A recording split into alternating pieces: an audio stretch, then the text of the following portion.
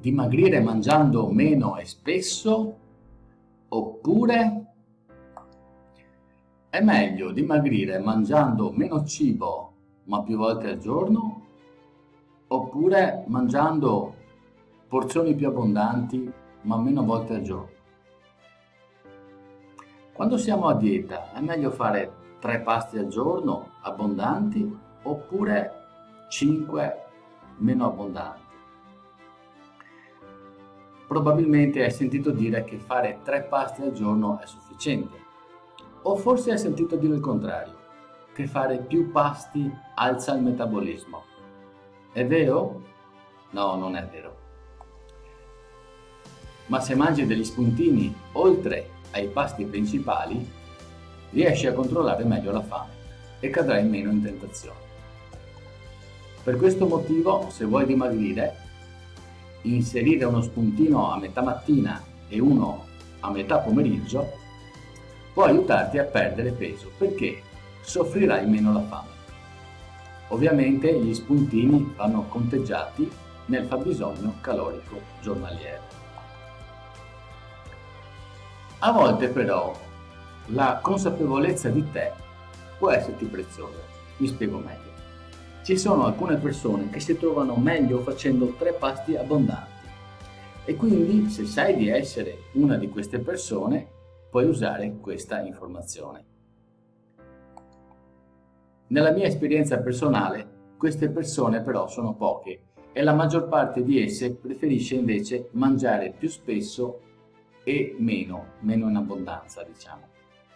In ogni caso dipenderà sempre e solo da te scegliere la tua strategia migliore.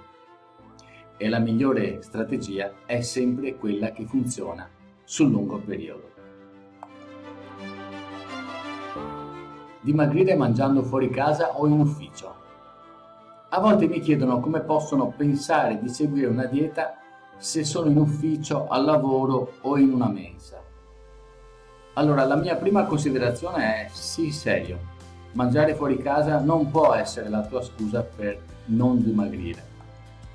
La mia seconda considerazione è che non è mai un singolo pasto imperfetto a sballarti la dieta. Il tuo successo dipende da ciò che mangi durante tutto l'arco della giornata. Quindi considera cosa mangi a colazione e cosa mangerai per cena una terza considerazione è quella di invitarti a provare il piatto unico, un'unica porzione con i nutrienti che ti servono. Come puoi farlo? Allora dividi il piatto diciamo in quattro parti, ad esempio fai così e fai così come vedi. Allora le prime due parti sono date una parte dai carboidrati, quindi pasta, riso, orzo, un pezzo di pane o patate un altro quarto, il secondo quarto qui, cibo proteico preferibilmente magro come il tonno, la ricotta, il pollo, tacchino, bresaola oppure legumi. E gli altri due quarti del piatto per molta verdura, quindi i due quarti finiscono per diventare la metà, con molta verdura. Questo è il piatto unico, un'unica porzione con tutti i nutrienti che ti servono. E se ti stai chiedendo, e i grassi? Beh, non devi temere perché i grassi sono presenti nei sughi, nelle verdure cotte o anche crude se sono già condite, oppure sono nel metodo di cottura del cibo. Quindi avrai un, un piatto abbastanza completo anche senza pesare gli alimenti.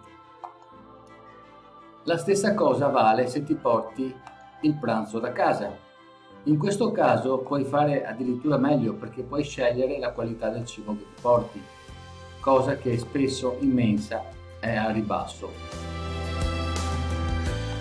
Se sei al lavoro, fai attenzione anche al numero dei caffè, allo zucchero e alle merendine che puoi acquistare nelle, nei distributori automatici.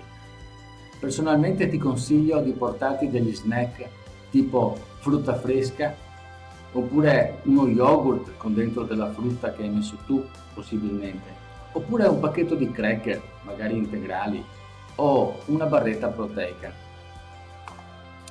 In conclusione, se vuoi dimagrire, ci sono due approcci.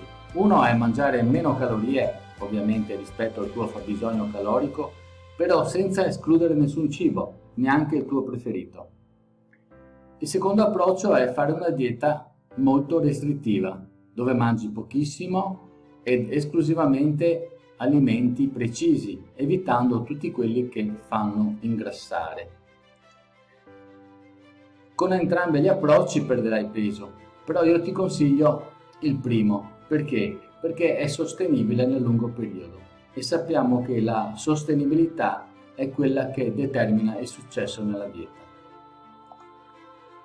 Io spero che questo video ti sia stato in qualche modo utile, spero ti abbia chiarito alcuni concetti, magari ti ha dato qualche informazione aggiuntiva che puoi utilizzare subito nella tua dieta. Ecco, se ti è piaciuto ti chiedo di lasciare gentilmente un like qui sotto e se hai domande non esitare a postarle sempre qui sotto. A presto!